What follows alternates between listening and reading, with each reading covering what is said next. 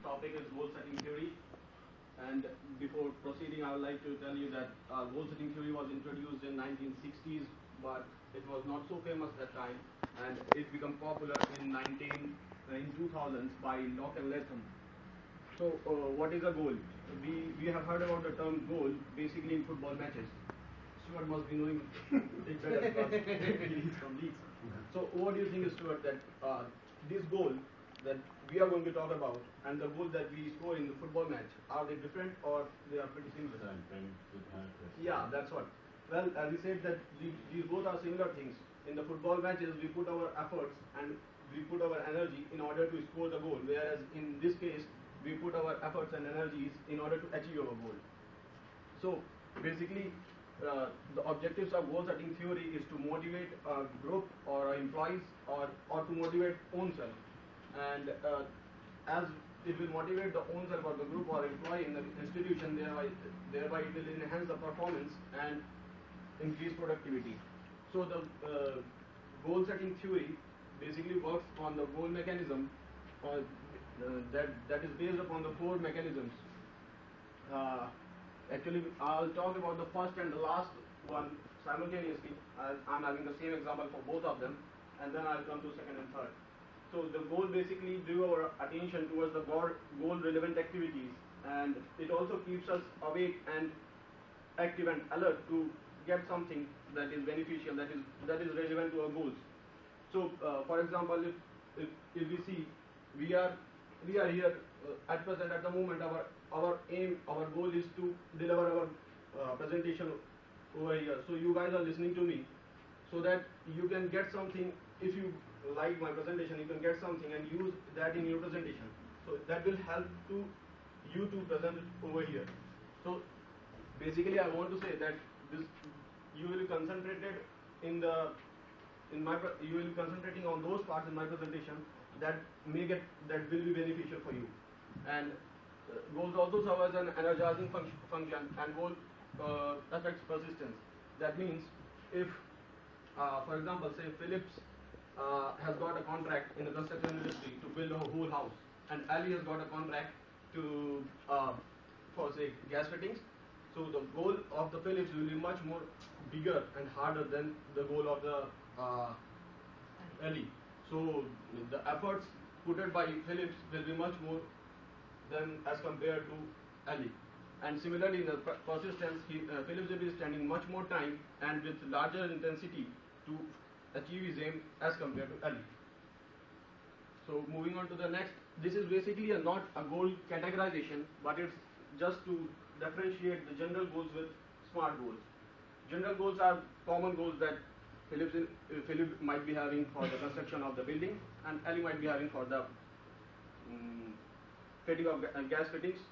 And apart from that, the smart goals are uh, the goals that are specific, measurable, assignable, realistic, and timely. Specific that means it should it should have all the knowledge, all the data about that what to be done, where to be done, and how is it's to be, it is to be done. Whereas measurable means it should be quantified so that we can have we can conclude that now it's done and we have get it, we have achieved it. And it should be assignable that one must be knowing that who is doing it, that I am doing it, yes, I am doing it and it should be realistic. Realistic means that it should be challenging, not so easy, challenging, but attainable, yet attainable. And it should have a deadline to meet. So there are five principles to set a to set a smart goal and motivate through goal setting goal setting theory. The first one being clarity. That means the, the goal you have selected should be clear, specific, measurable, and time oriented. That means it should contain all the information so that you can conclude yourself or our authorities can conclude ourselves. Second thing is commitment. Commitment, uh, basically commitment can be basically commitment uh, is in regards with the willingness of a person to do the work. So uh, if we see, uh, if we are, if I being a manager and Philip being my employee, I will I'll I'll call him in a meeting where I'm going to take decisions about my goal, and I'll ask him that whether he he is feeling confident or he is feeling that he is uh, ready to do or not, he is able to perform that activity or not. So we can get it in either of this way, or we can also derive his uh, Philip's uh, self-interest in doing the activity that can result in the organi- organizational growth. Say, uh, for example, we can give a uh, give our employee a short-term uh, short-term aim, uh, so that after achieving that aim, he can uh, he can get some reward, and in this way he will be working in order to get that reward, and ultimately, who will get benefited? The organization will get benefited. And the third phase is challenging. The goal should be, as I have written it, that the higher the difficult will be the goal, the higher will be the efforts, and thus the higher will be the motivation. And this is very clear from the graph that if the difficulty level is increasing, so the the motivation level is also increasing, but it is not getting to the highest peak when the difficulty level is easy.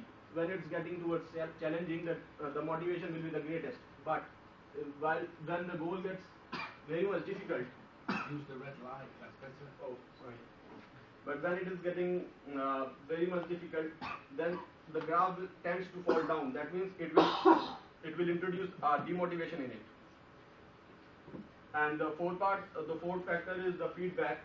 Uh, suppose if your employee, if you have given certain goals to your employee and he, he's finding certain difficulties in doing it, so the feedbacks are important so that you can uh, support him for doing it, and also he will get a recognition. He will he, he should know that what what is the relevance of the part he is doing, and we can say if, if in a long term uh, goals we we can divide the goals in certain stages so that after fulfilling each stage uh, employee should have a sense of confidence and uh, a sense of pride by completion and he can self motivate himself. And the last part is task task complexi- complexity. The task should be should not be like that that it cannot be achievable. Or if it is so then we should uh, first provide the training the uh, the initial training to the student uh, to the employee or we can we can provide him proper time to learn and then do the activity. So there are uh, this is, this is all about the principles for selecting the smart goal. So the advantages as it is a, it is a type of management theory to motivate the employees. And if if in case uh, say for example if uh, somebody has if a manager has given his employee a certain job and if he's done if he he's done with it then he will be feeling uh, the sense of uh, completion the sense of pride the sense of pride will introduce in, will enhance his performance. So uh, for example after finishing the this presentation i'll feel more confident as i was feeling before. So uh, it is also a key to self-management as uh, whenever we decide for a goal in our head. So whenever we decide for a goal, we we start planning for it from the from the time onwards. So it is uh, goal setting theory also have certain limitations, such as uh, simultaneous uh, simultaneous goals reduces efficiency.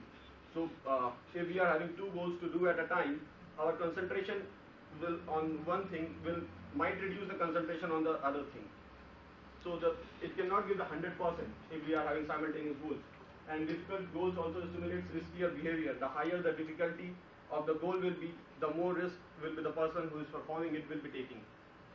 And sometimes introduce tunnel vision. Tunnel vision, say for example, if a salesman is having his having his goal of uh, of selling his product five products in a day, and by the evening he is only able to sell three products, then he will be uh, he will be he might you know lie about his product to sell it, or he might use some unethical behavior. So that can that that is called as tunnel vision. So goal setting theory can fail if the employee that uh, if the employee uh, is not competent enough. Uh, just in a similar way that if if we will send some 12th standard guy to do masters, he might be not competent enough as the bachelor's guy will be. And at last, it, the goal setting theory uh, has no evidence to prove that uh, it improves job, job satisfaction. But in, in spite of having all these limitations, goal setting theory has found to be uh, very good for motivation in construction field as well as in other organizations as well. Thank you. These are the references from where I got, got my data and finally the questions. have a question. Anyone else have any